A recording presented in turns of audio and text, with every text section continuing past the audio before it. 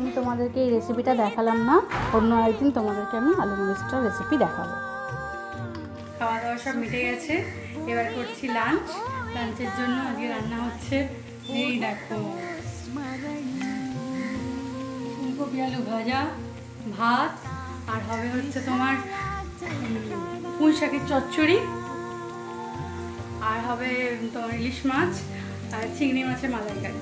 তো দেখি আমি ভাবছিলাম যে আজকে তোমাদেরকে আর রান্নাটা দেখাবো না। তো দেখি যদি ভালো লাগে তাহলে রান্নাটা দেখাবো। এখন তো করতে সব শুরু করছি কাটা কাটা সব হয়ে গেছে। ঠিক আছে এই দেখো চিংড়ি মাছটা।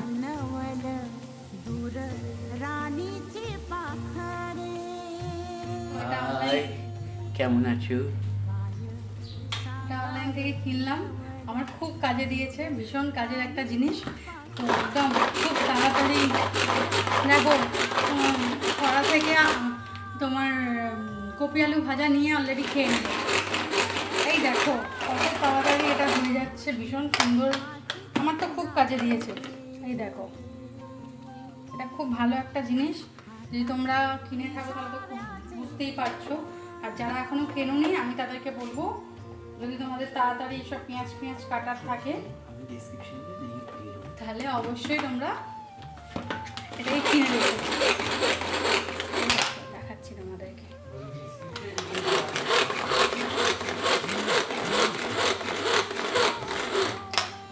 হয়ে গেল আমার। তো চলো আজকে আগে আমি, তো একই অনেক এখন হয়ে গেছে। দেরি হয়ে গেছে তোমাদের সামনে আসতে। এবার চলো একটু রান্নাটা করি। দেখতে থাকো, প্রথমে আমি বরঞ্চ ভাবছিলাম প্রথমে পুঁই শাকটা করব, কিন্তু আমি প্রথমে আগে চিংড়ি মাছটা করে নিচ্ছি। আজকে আমার মা মানে এখানকার মা, শাশুড়ি মা বাড়ি আসছে। তো আজকে কালকেই চলে এসছে, আমার ননদের বাড়ি আছে, তারকেশ্বরে থাকে তোমাদেরকে বলেছি। এখন, তো চলে এসছে। আর ওখানেতে পরশু দিনকে সোমনাথ গিয়েছিল অফিসের কোন কাজে, তো মায়ের কাছে খেতে, খেয়ে এসছিল। তো মায়ের কাছে গিয়ে আলু কপি আলু ভাজা আর ঘি দিয়ে ভাত খেয়েছিল। ওই জন্য ওর এত ভালো লেগেছে।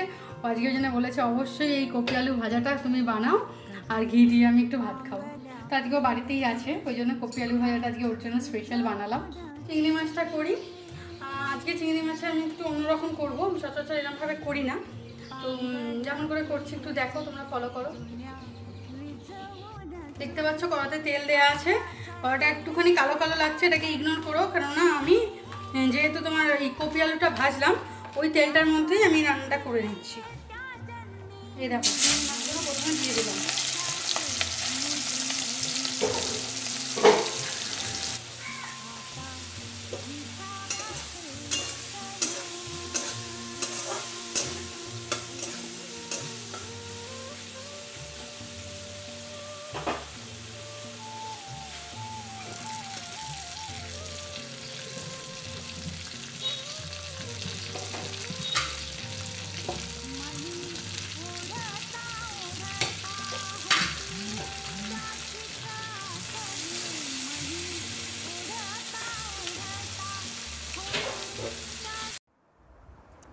এবার চিংড়ি মাছগুলো ভাজা হয়ে গেছে। আমি ওগুলোকে কড়াতেই সাইডে তুলে রাখলাম। আমি আর আলাদা করে ওটাকে তুললাম না। ওটা সাইডে রেখে দিয়েছি। তার মধ্যে আমি পেঁয়াজ দিয়ে দিয়েছি। পেঁয়াজটা ভালো করে ভাজা হচ্ছে। এরপর আমি ভালো করে ভাজা ভাজা হয়ে গেছে। এর মধ্যে চিনিও দিয়ে তারপরেতে আমি এরপরেতে তোমার যে টমেটোটা কুচিয়ে রেখেছি, ওই টমেটোটা এর মধ্যে দিয়ে দেবো। দিয়ে পেঁয়াজটা মোটামুটি ভালোই ভাজা হয়ে গেছে। এবার টমেটোটা দিয়ে দিচ্ছি। টমেটোটা দিয়ে আমি পেঁয়াজটাকে আরও ভালো করে একটুখানি কষবো। একটুখানি আরও একটু ভালো ভাজা ভাজা করব। এতে চিনিটা দেওয়া হয়েছে তো, তারপর টমেটোটা দিলে রঙটা আরও সুন্দর আসবে। ওদিকে আমার হাঁড়িতে ভাত বসানো আছে। আজকে আমি হাঁড়িতেই ভাত করছি। তো ভাত হয়েও গেছে। এবার আমি ভাতটা নামিয়ে দেবো। এদিকে দেখতে পাচ্ছ, টমেটো, পেঁয়াজ সব ভাজা হয়ে গেছে।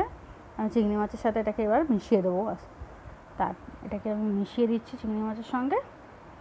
এরপর আমি দেব হচ্ছে এর মধ্যে যে মশলাটা আমি করে রেখেছি, সেই মশলাটা। মশলাটার মধ্যে আমি করে রেখেছি হচ্ছে আদা, রসুন আর একটা কাঁচা লঙ্কা, আর কিছু নেই, কোনো পেঁয়াজ টেঁয়াজ কিছু বাটা নেই। পেঁয়াজ আমি যা কুচিয়ে দেবার এর মধ্যে ডাইরেক্ট দিয়েছি। এবার আমি মশলাটা দিয়ে দিলাম। এবার এই কৌটো, এই বাটিটা ধুয়ে যে জলটা, সেই মশলার জলটাও আমি এর মধ্যে দিয়ে দিলাম।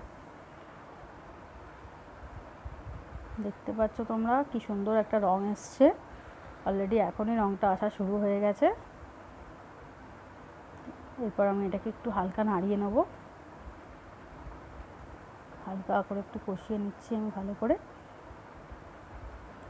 মোটামুটি আমার কষানো হয়ে গেছে। অলরেডি তেল ছাড়তে শুরু করে দিয়েছে। এবার আমি এটার মধ্যে দেব হচ্ছে যেটা আমি আজকের জন্য স্পেশাল চিংড়ি মাছে ইউজ করব সেটা। এখন তো দিচ্ছি লঙ্কা গুঁড়ো এক চামচ। এবার দেব হলুদ গুঁড়ো এক চামচ। তারপর দিচ্ছি হচ্ছে টক দই। এটাকে আমি ভালো করে মিহি করে ফেটিয়ে রেখে দিয়েছি। আর এটার জন্যেই এই ডিশটার টেস্টটা একদম দারুণ হয়ে গেছে আজকে। টক টক, ঝাল ঝাল, মিষ্টি মিষ্টি, দারুণ টেস্ট হয়েছে। আর এটা ধুয়ে আমি, এটা দুধ দিয়ে ধুয়েছি। যেমন নারকলের দুধ আমরা দিই মালাইকারিতে। এটা আমি এমনি গরুর দুধই একটুখানি ধুয়ে দিয়ে দিয়েছি। জল দিয়ে না ধুয়ে, দুধ দিয়ে আমি দইটাকে ধুয়ে দিয়ে দিয়েছি। যার জন্য আরও ক্রিমি ক্রিমি টাইপের জিনিসটা খুব ভালো হয়েছে। এবার আমি একটু নুন দিয়ে দিলাম। তোমরা যে কেউ একদিন এটা করে খেয়ে দেখো। আজকে আমি এটা বানিয়েছি, অসাধারণ খেতে হয়েছে। এটা করে দেখো, ভীষণই ভালো খেতে হবে, আশা করছি। এবার আমি এটাকে ঢাকা দিয়ে দেবো। তোমরা দেখতে পাচ্ছ এটা ভীষণ সুন্দর একটা কালার এসছে। অ্যাকচুয়ালি দই দেওয়ার জন্য রঙটা খুব ভালো এসছে এবং টেস্টটাও ভীষণ ভালো হয়েছে। টক টক ঝাল ঝাল টেস্ট হয়েছে। এটা আমি আজকে একটু ঝোল ঝোল রাখব। কারণ যেহেতু আমাদের অন্য বেশি কিছু ঝোল রান্না হচ্ছে না, সবই শুকনো শুকনো। এর ফলে এটা আমি একটু কাই রাখব। তোমাদেরকে আরেকটা টিপস দিই। যদি যে কোনো রান্না, যখনই তুমি জোরে করে বাবল করবে, দেখবে তোমার রান্নাটার কালারটা ছেড়ে গেছে, কিন্তু সেই কালারটা ফুটে ফুটে আবার নষ্ট হয়ে যাবে। কিন্তু যখন তুমি সেটাকে কমিয়ে রাখবে, তখন দেখবে কালারটা একদম অ্যাপ্রোপ্রিয়েট চলে এসছে। চলো, আমার এটা হয়ে গেছে। আমি এটাকে, এই দেখো। আশা করছি দেখতে পেয়েছ। ভীষণ সুন্দর রংটা হয়েছে, ভীষণ সুন্দর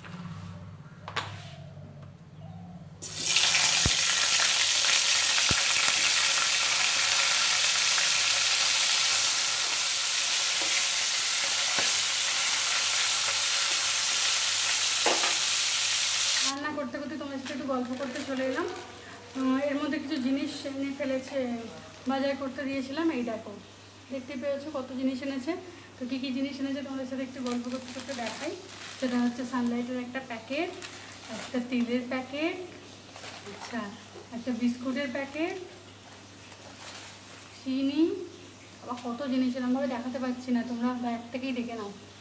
এগুলোকে নিয়ে গিয়ে আবার আমি এখন রাখব জায়গায় সুজির প্যাকেট এটা তো স্পেশাল আমাদের বাসন মাজার সাবান। আচ্ছা কোলগেট এটা চাউমিন।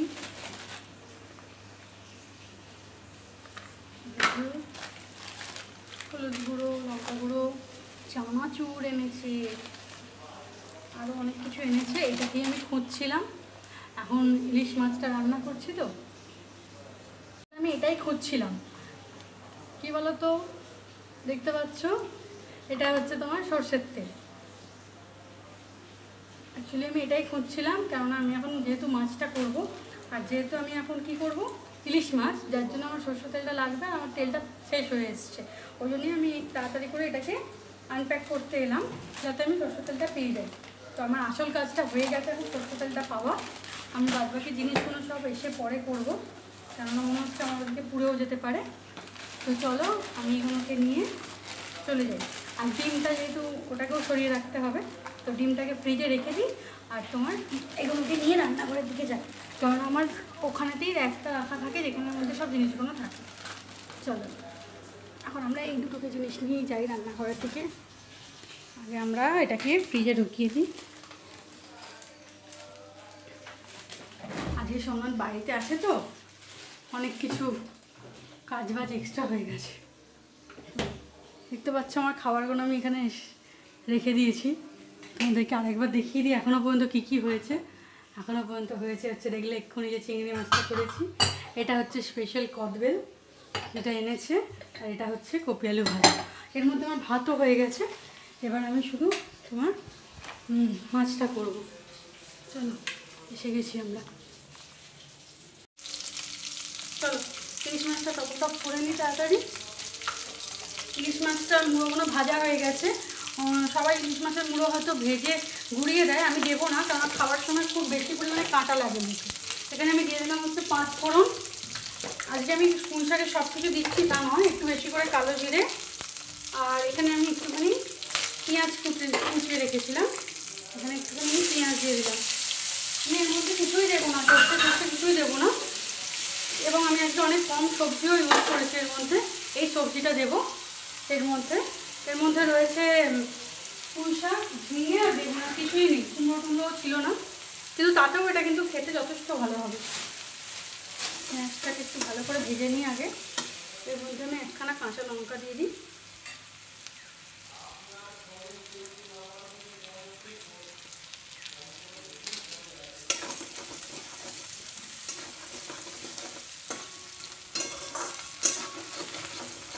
এই পেঁয়াজ আর এই মুড়ো আর তোমার যে তেলটা, এটাতেই পুঁই শাকটা একদম জমে যাবে। আর কিছুই দেবো না। পেঁয়াজটা একটু ভালো করে ভাজা ভাজা করে নিলাম। মুড়োগুলো আমি গোটাই রেখেছি। এবার আমি এটা ঢেলে দিলাম। এর মধ্যে দিয়ে দেবো হচ্ছে লঙ্কার গুঁড়ো।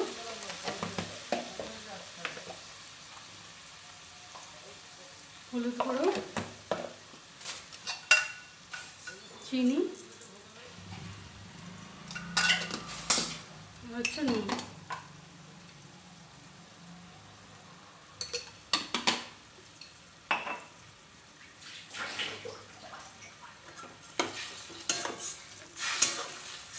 আমি তাই জলটা কেন রাখলাম বলো তো? যেহেতু আমি মুড়ো কোনো ভাঙিনি, কিন্তু মুড়োর টেস্টটা পুরোটাকে আনতে হবে, যার জন্য আর এমনিতেই আমি যে কোনো শাকসবজির জল ফেলি না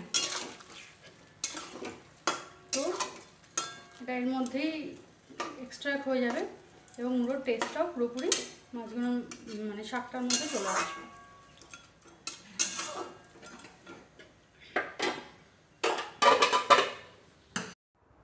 ঢাকাটা খুলে একবার দেখে নিই। এখনও অনেকটাই জল আছে, তো এই জলটা ততক্ষণ মরুক জাস্ট এই জলটা মরে গেলেই এটা রেডি হয়ে যাবে। এটা ততক্ষণ জলটা মরতে থাকুক। আমি আরেকটা কড়া বসিয়ে ওখানে মাছগুলো ভেজে নিচ্ছি। ইলিশ মাছের তেলটা দিয়ে সর্ষের তেল দিয়ে ইলিশ মাছগুলো আমি ভালো করে ভাজা করে নিচ্ছি। আমার ইলিশ মাছগুলো ভালো করে ভাজা হয়ে গেছে। যদিও ইলিশ মাছ খুব একদম কড়া করে ভাজা উচিত নয়, তাহলে টেস্টটা পাওয়া যায় না। আর ইলিশ মাছের যেটা সব থেকে বড়ো জিনিস গ্যাসটা সবসময় কমিয়ে কমিয়ে ভাজতে হয়। যত গ্যাসটা কমিয়ে স্টিম আঁচেতে যত এটা ভাজা হবে, তত কিন্তু সুন্দরভাবে তেলটা বার হবে এবং তেলটা ভীষণ পরিমাণে সুস্বাদু হবে। আর সারা বাড়ি গন্ধে মমা হয়ে যাবে একদম। মেন হচ্ছে ইলিশ মাছের সেন্টটাই তো আসলে, তো সেন্টটা এইভাবে তা করলে বজায় থাকে। দেখতে পাচ্ছ আমার শাকটাও এখানে হয়ে এসছে। এবার আমি দুটোকেই আস্তে আস্তে নামিয়ে নেব। আমার শাকটা পুরোপুরি কমপ্লিট কিন্তু তার আগে আমি মাছটা নামিয়ে নিই, কারণ মাছটা বেশি ভালো হয়ে যাবে। এবার শাকটাও হয়ে গেছে। আমি শাকটাকে ভালো করে আর একটুখানি জলটা যেটুকু আছে, দেখতে পাচ্ছ, কারণ একটু ভাজা ভাজা করলে জিনিসটা আরও বেশি ভালো লাগবে। তো আমার প্রায় লাস্টের দিকে হয়েই এসছে। এবার আমি এটাকে নামিয়ে দিলাম। আমি কিন্তু একটা মুড়োও ভাঙিনি। তার ফলে কোনো কাঁটা মুখে লাগবে না। দেখছ, আমরা খেতে বসে পড়েছি, একজনকার ভাত বাড়া হয়ে গেছে, এবার আমরা তারপর তোমার সাথে আবার কথা বলছি। চলো, আমার এখন রান্না বান্না সব কমপ্লিট খাওয়া দাওয়া কমপ্লিট তো এবার আমরা একটুখানি, আমি একটুখানি শোবো। সবাই আমরা তিনজনে মিলে একটুখানি রেস্ট নিয়ে নেব। আবার এক্ষুনি আমার মা আর আমার যে জামাইবাবু আর কি, সে এক্ষুনি চলে আসবে। তো ঠিক আছে, চলো আজকের ব্লগটা এখানেই শেষ করছি। আমার রান্নাগুলো তোমাদের কেমন লাগল জানিও। আর যারা আবার তোমাদেরকে বলছি, প্রত্যেকটা বড়দের প্রণাম আর ছোটদের, আমার অনেক অনেক ভালোবাসা রইল। আর যারা আমার চ্যানেলটা সাবস্ক্রাইব করেছ, তাদের অসংখ্য ধন্যবাদ।